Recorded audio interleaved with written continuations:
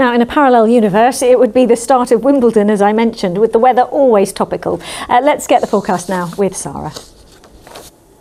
Hello there, very good evening to you. What a massive difference we've seen in the weather. The last couple of days, some much colder air has moved in. Low pressure in control of our weather means we are unsettled.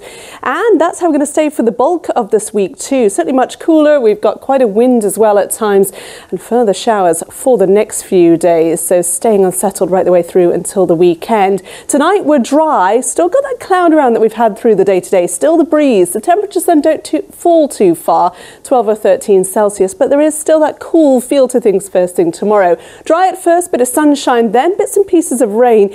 Most of it will stay south of the Thames estuary for a time before it just skirts across us later on. 20 Celsius is the top temperature. It's just about where we should be for the time of year, but with a cool feel with that wind. And then here is that low pressure and control of our weather middle part of the week. Further tangles of weather fronts around. It means we're in for some more wet weather. Perhaps not quite as breezy, but but we'll start with some showers first thing on Wednesday morning, and then as we wear through the day, further of those to just push in from the west. Again, there's temperatures only about where we should be for the time of year, 21 Celsius.